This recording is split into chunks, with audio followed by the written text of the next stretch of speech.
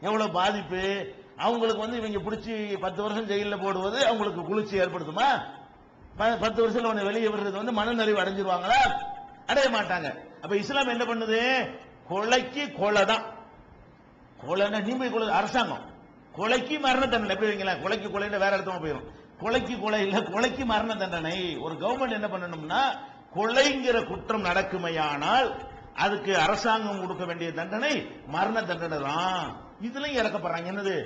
பாருங்க ஒரு உயிரை போய் அவன் உயிர் எடுத்து தெரிய மாட்டேங்குது. அவன் யார் எடுக்கிறான்? சும்மா அப்பாவே அவன் அல்லாண்டு அவன் வேலையை பார்த்துட்டு இருந்தான். அவனை போய் தலை எடுத்துட்டு வந்திருக்கான் இவன். இவன் தலையை எடுக்க சொல்லும் போது மட்டும் உயிரை எடுக்கலாமா? இது மனிதாபிமானமா? இப்படி எல்லாம் செய்வதற்கு மனசை இழந்திருக்கிறதா? யாருக்கு பேசுறாங்க? இவன் உயிரை எடுத்தவனுக்கு ரெக்கமெண்ட் பண்ணி பேசுறான. உங்க அப்பனை கொலை பண்ணிருந்தா பேசுவியா? இந்த மரண தண்டனை வேணாங்கிறவட்டெல்லாம் போய் கேளுங்க. ஏன்டா கொலை செஞ்சது உன் மகனா இருந்தா? அந்த கேட்கணும் மரண தண்டனை வேணான்னு சொல்றானே. இந்த மரண தண்டனை வேணாங்கிற ஆள்கிட்ட என்ன செய்யணும்? மரண தண்டனை வேணான்னு சொல்றான் பாருங்க. அவங்ககிட்ட போய் கேட்கணும் சரி மரண தண்டனை வேணாம். கொலை செய்யப்பட்டது உன் மௌனா இருந்தா?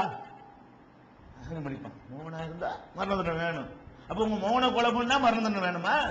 கொலை செய்யப்பட்டது உங்க பொண்டாட்டியா இருந்தா? கொலை செய்யப்பட்டது உங்க புருஷனா இருந்தா? கொலை செய்யப்பட்டது உங்க அப்பனா இருந்தா?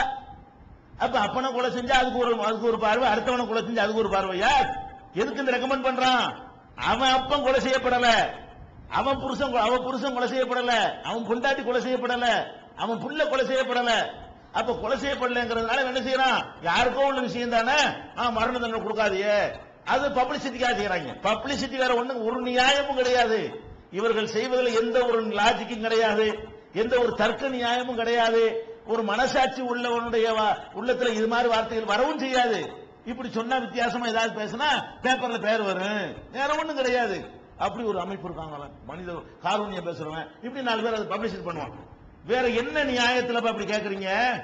இப்ப இஸ்லாம் என்ன பண்ணுது? இந்த விளையாட்டுலாம் கிடையாது. அதாவது கொலை செஞ்சிட்டியா? கொலைக்கு கன்ஃபார்மா நிரூபிக்கப்படுதா? அதுக்கு மரண தண்டனை தான்.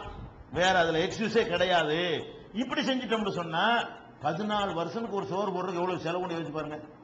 ஒரு மனிதனுக்கு பதினாலு வருஷம் சோறு போட்டா அதுக்கு என்ன செலவு? நான் சொன்ன கடைக்கு பதினாலு லட்ச ரூபா போயிரும்ல? ஒரு ஆளுக்கு ஒரு லட்ச ரூபா வச்சு பாத்தீங்கன்னு சொன்ன ரெண்டு லட்ச ரூபா வச்சு பாத்தீங்கன்னா பதினாலு இருபது ரூபாண்டா ரெண்டு லட்ச ரூபா வருதுல. பதினாலு கணக்கு பண்ணி பாருங்களேன். எங்கேயே போயிடும் அப்ப ஒரு வீடு கட்டிட்டு போயிடலாம். அவ்வளவு பெரிய தொகையை கொண்டு போய் நம்ம வரிப்பணத்திலிருந்து செலவழிச்சு அவனுக்கு பயம் இல்லாம ஆக்கி அடுத்தவனும் கூட என்ன செய்யறான்? அது போக ஜெயில சம்பளம்லாம் வேற இருக்கு. தண்டனை கொடுத்தவன அவனுக்கு வேலை செய்ய சொல்லி நெசவு விவசாயம் தையல் மிஷின் ஏதாவது உனக்கு தெரிஞ்ச வேலையை பாருன்னு சொல்லி அது சம்பளத்தை சேர்த்து வெளியே ரொம்ப பணத்தோட வேற வர்றான்.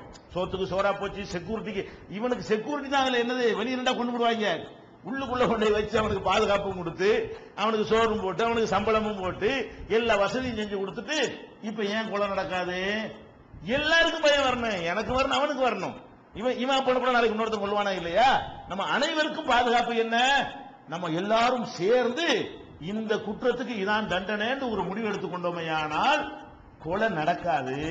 அல்ல எப்படி சொல்றான் குரான்ல இருந்து கேட்டா. வித்தியாசமான வார்த்தை. அல்லாஹ் குரான்ல போடுற வார்த்தையை பார்த்தா ஆச்சரியமா இருக்கும் உலக்கும் பில் கிசாசி ஹயாத். யா ஒளில் அல்பாப். அறிவுடைய மக்களே இந்த பழிக்கு பழி கொலைக்கு கொலை என்று தண்டனை இருக்கிறதே.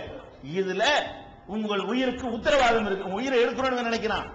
அல்ல என்ன சொல்றான்னு கேட்டா ரெண்டாவது சூறாவுல நூத்தி எழுபத்தி ஒன்பதாவது வசனத்தில் எல்லாம் சொல்லி காட்டுகிறான் வழக்கும் பில் கிசாசி ஹயாத்தும் யா ஒளில் அல்பாப். அறிவுடையவனுக்கு அது விளங்கு. அறிவுடைய மக்களே இந்த கொலைக்கு மரண தண்டனை நான் சொல்றேனே நீங்க என்ன உயிரை எடுக்கிறேன்னு நினைச்சிட்டு இருக்கிறீங்க? இல்ல.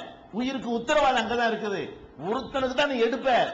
ஒருத்தன் தலை எடுத்தால் நூறு பேர் வருஷத்துக்கு மாசத்துக்கு கொல்லப்படுறானே அது நிறுத்தப்படும். சிட்டியில. சென்னையில மாசம் நூறு பேர் கொல்லப்படுறான். அது நிறுத்தப்படுமா இல்லையா?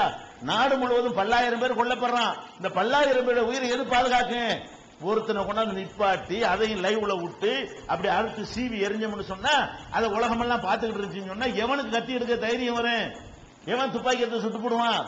அப்ப ஒரு இந்த மாதிரி ஒரு கடுமை குற்றவாளிகள் விஷயத்துல கடும் போக்கை தான் கையாள வேண்டும். அப்படின்னு சொல்லி இஸ்லாம் என்ன பண்ணுது? இந்த குற்றங்களுக்கு தண்டனை கொலைக்கு மட்டும் இல்லை எல்லாத்துக்கும் நல்லா சொல்லி காட்டுறான். எப்படி சொல்றான்னு கேட்டா ஒரு கொலைக்கு கீழே என் கையை வெட்டிட்டான் என் விரலை வெட்டிவிட்டான் என் மூக்கை அறுத்து என் கண்ணை நோண்டி விட்டான் என் பல்ல உடைச்சு விட்டான் என் காலை வெட்டி காயம் ஏற்படுத்தி பெரிய ஆழமான காயம் ஏற்படுத்திட்டான். அப்படி இந்த மாதிரி எவ்வளவோ தவறுகள் வந்து ஒரு மனிதன் இன்னொரு மனிதனுக்கு செய்கிறான். இதுக்கு கொலைக்கு மரண தண்டனையோட இஸ்லாம் நிறுத்திக்கல. இதுக்கும் சொல்லுது தண்டனை. எப்படி சொல்லுது? கத்தப்புனா அலைஹிம் பீகா அவர்களுக்கு நாம் விதியாக சட்டமாக ஆக்கி இருக்கிறோம் என்ன ஆக்கி இருக்கிறோம் அண்ணன் நப்ச பின் நப்சி. உயிருக்கு உயிர் தான் நீ எடுத்தது உயிராயிருந்தால் உன் உயிரை அரசாங்கம் எடுக்க வேண்டும். உயிருக்கு உயிர். ஒல் ஐன பில் ஐனி. கண்ணுக்கு கண்ணு. என் கண்ணை நோண்டிட்டான்னு சொன்னா கவர்மெண்ட் பிடிச்சி போய் என்ன செய்யணும் அவனை? அவன் கண்ணை நோண்டணும். அப்பதான் கண்ணு பறி போன எனக்கு மனவே. உனக்கு ஒரு மாதிரியா தெரியும். நீ யாரை இதுல பார்க்கணும்? அவனை பாரு. கண்ணை ஏற்கனவே பறி கொடுத்துக்கிறான்ல அவன்கிட்ட போய் கேளு. அடே உன் கண்ணை நோண்டுனதுக்காக வேண்டி நாங்க ஒரு மாசம் சோறு போடவான்னு கேளு. ஒத்துக்குருவானா? உன் கண்ணை நோண்டி இருக்கிறான்ல அவனுக்கு ஒரு மாதம் ஜெயில் தண்டனை கொடுத்து அவனுக்கு நாங்க எல்லா வசதி செஞ்சு கொடுத்து அவனுக்கு சோரை போட்டு அனுப்பி வைக்கட்டுமான்னு கேட்டா ஒத்துக்குருவானா? நீங்க எல்லாரும் வேற மாதிரி நினைச்சாலும் இதுல முடிவு செய்யறதுக்கு தகுதி படைச்சவன் யாரு? ஏற்கனவே கண்ணை பறி கொடுத்தவன். அவங்ககிட்ட கேட்கணும் உன் கண்ணை நோண்டினவனுக்கு என்ன? நோ- கண்ணை நோண்டுமான்ல அல்ல எங்க இருந்து பேசுறான் பாத்தீங்களா? அவன் இடத்துல உட்கார்ந்து பேசுறான் அல்ல. அதாவது பாதிக்கப்பட்டவனுடைய நியாயத்தை எவனும் பேச மாட்டேங்கிறான். படைச்ச இறைவன் பேசுகிறான். அவன் நிலையிலிருந்து உயர்ந்த இடத்துல இருந்து பேசாம பாதிக்கப்பட்டு துடிப்பான. அங்க நின்றான்ல அல்ல. டேய் கண்ணு கண்ணை ஏறா இந்த அந்த ரேஞ்சில் இறங்கி எல்லாம் என்ன செய்யறான்? நம்ம உணர்வுகளுக்கு மதிப்படுத்தி சட்டம் போடுறதை பாக்குறோம் அப்ப அண்ணன் நப்ச பின் நப்சி உயிருக்கு உயிர். ஒல் ஐன பில் ஐனி கண்ணுக்கு கண். ஒல் அன்ப பில் அன்பி மூக்குக்கு மூக்குதான். ஒல் உதன பில் உதனி காதுக்கு காதுதான். ஒல் சின்ன பி சின்னி காயங்களுக்கு பல்லுக்கு பல்லுதான். ஒல் ஜுருஹ கிசாஸ் காயங்களுக்கும் அது போல காயப்படுத்துவதுதான். உன்னை காயப்படுத்தினானா? அதே மாதிரி படுத்து. நமக்கு இஸ்லாம் எப்படி சட்டத்தை கொண்டு வருதுன்னு பாருங்க. நாட்டில வந்து எல்லாரும் பயப்படணும். எதுக்கு பயப்படணும் அடுத்தவனுக்கு அநியாயம் செய்ய அனைவரும் பயப்பட வேண்டும். நானும் உனக்கு செய்யக்கூடாது நீ எனக்கு செய்யக்கூடாது. யாரும் யாருக்கும் செய்யக்கூடாது. உயர்ந்தவன் தாழ்ந்தவனுக்கு செய்யக்கூடாது ஆம்பளை பொம்பளைக்கு செய்யக்கூடாது பெரிய கூட்டம் சின்ன கூட்டத்துக்கு செய்யக்கூடாது பணக்காரன் ஏழைக்கு செய்யக்கூடாது வலிமை உள்ளவன் வலிமை குறைஞ்சவனுக்கு செய்யக்கூடாது யாரும் யாருக்கும் அநியாயம் செய்யக்கூடாது என்கிற நிலை எப்போது வரும் என்று சொன்னால் சவுக்கையை எடுக்க வேண்டும் சுழட்ட வேண்டும் மயிலரகை எடுத்து வருடி கொடுக்க கூடாது அப்படிங்கிற மாதிரி இஸ்லாமிய சட்டங்கள் என்ன செய்யப்பட்டிருக்கு? உருவாக்கப்பட்டிருக்கிறது. இதை அமல்படுத்தினார்களே ஆனால் உலகத்தில் சுபிச்சம் ஏற்படுமா இல்லையா? உலகத்தில் சட்டம் ஒழுங்கு பிரச்சனை வருமா? நம்ம பாதுகாப்பா இருப்போமே. அது மாதிரி இஸ்லாம் சொல்லுகிறது. அதே மாதிரி வந்து கற்பழிக்கிறான். கற்பழிக்கிறதுக்கு இந்த ஆசைக்கு என்னங்க மறுத்தலாம் சொல்லி காட்டுறாரு. கற்பழிக்கிறதுக்கு என்ன தண்டனை? ஒண்ணுமே கிடையாது நம்ம நாட்டுல. என்னமோ சட்டம்லாம் கொண்டு வர்றாங்க. ஒண்ணும் கிடையாது. கற்பழிச்சவன்லாம் வெளியே தான் நிக்கிறானுவோ. அதுக்கு ஏதாவது ஒரு குரூப் லைனை வச்சு நினைச்சிடறான் அது நிரூபிக்கப்படவில்லை இது நிரூபிக்கப்படவில்லை சொல்லி அவங்கள வெளியேற்றிடுறான். கற்பழிப்புக்கு வந்து மரண தண்டனை கொடு. இந்த மாதிரி வந்து எல்லா வகையான குற்றங்களுக்கும் இஸ்லாம் என்ன பண்ணுது? ஒரு பெண் மீது அவதூறு சொல்றான். புட்டு புட்டுச்சு எண்பது கசையடி கொடு. அவன் மகளை சொல்லி தான் என்ன செஞ்சிருப்பான்? இஸ்லாம் எப்படி பார்க்குது? ஒரு பெண் மீது அவதூறு சொல்லிவிட்டால் அந்த பெண்ணுடைய நிலையிலிருந்து நிற்பார் அப்புறமேல அவள் புருஷனோட சேர முடியுமா? அவளுக்கு வாழ்க்கை கிடைக்குமா? முத புருஷனே முதல்ல கல்யாணத்துக்கே இவ்வளவு கஷ்டப்படும் போது இன்னொருத்தன் எப்படி அவளை கட்டிக்கிடுவான் அது ஏற்கனவே பேர் டேமேஜா போன பிறகு எப்படி வாழ்க்கை கொடுப்பான். அவளுக்கு அவதூறு சொன்னதுனால அவளுடைய அப்பன் அவளுடைய அம்மா அவளுடைய அண்ணன் தம்பி எல்லாம் தலை குனிஞ்சு நிற்பான. அதை யார் திருப்பி கொடுப்பா? ஏதோ நாக்கு இருக்குங்கிறக்கான எனக்கு பொம்பளை மேல பேசிடுவியா நீ? அப்ப அந்த மாதிரி பேசணும் கண்ணால பார்த்தா கூட பேசக்கூடாது நாலு பேர் சாட்சியா இருந்து பார்த்தா மட்டும் தான் பேசணும் அப்படி இல்லைன்னா பேசாத. அப்படி பேசினா என்ன? எல்லாரும் பகிரமா கொண்டா நிப்பாட்டி வச்சு எண்பது சவுக்கடி துடிக்க துடிக்க அடிக்கணும். எண்பது அடி கொடுக்கணும் அப்படி பார்க்கணும்.